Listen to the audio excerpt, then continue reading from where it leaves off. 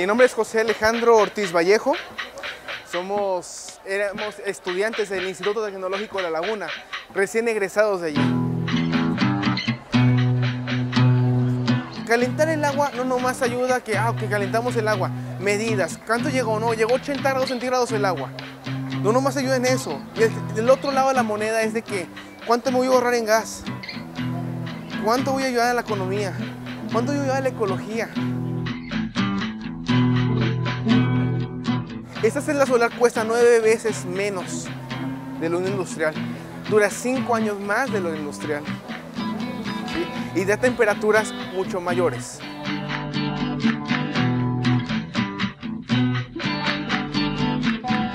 Ese es el sistema muy simple.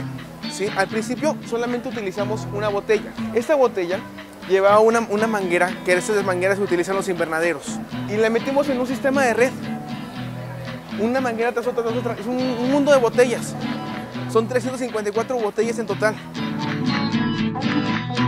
Entra el agua, está expuesta al sol, existan o no existan nubes, tiene su contenedor de agua donde entra el agua del grifo a 25 grados centígrados.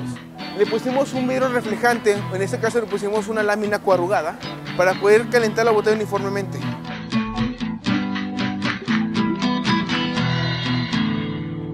Necesitamos algo que traspase la radiación y que se pueda quedar almacenada aquí dentro.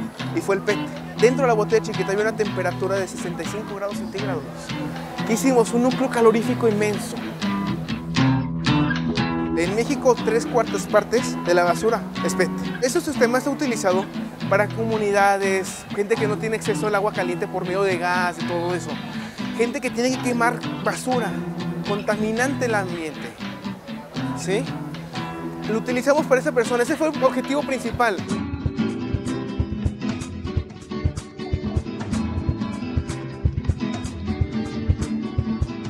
Yo soy Marcos y moro en Brasil.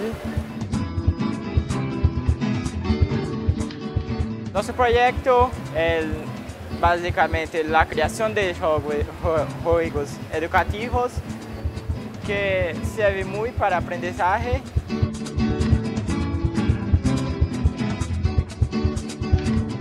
Aqui nós temos vários jogos, um de português.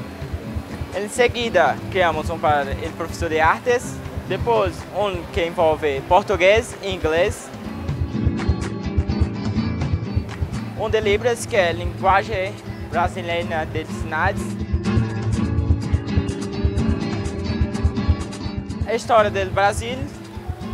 E por último, que abrange várias áreas, que é um jogo que vem todas as disciplinas, a matemática, física, inglês, português, espanhol, entre outros.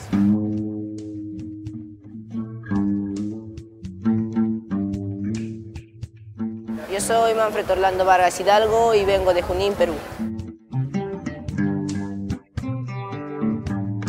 Aquí pues con este proyecto titulado Capturadores S6 de gigantes peligrosos por efectos de la alta contaminación y el friaje ambiental. Hoy en la actualidad respiramos un aire contaminado, ¿no es cierto? Por el parque automotor, la quema de pastizales, las grandes polvaderas, el dióxido y el monóxido de carbono que día a día están contaminando nuestro ambiente. Para ello hemos diseñado este prototipo denominado capturador S6. Absorbemos el aire contaminado que se encuentra en la atmósfera mediante una aspiradora. Lo llevamos a una cámara de sedimentación en donde las partículas quedan sedimentadas en el agua. Un ejemplo, cuando nosotros metemos nuestra ropa al agua, ¿qué sucede? Se vuelve más pesada, ¿no es cierto? Lo mismo sucede con esas partículas. Al entrar en contacto con el agua, estas tienden a sedimentarse. Ahora, ese aire ya purificado ingresa por estas tuberías y emitimos un aire de mejor calidad a nuestras viviendas. También podemos instalarlo en parques, más que nada en industrias y hospitales, porque donde ahí está la mayor contaminación.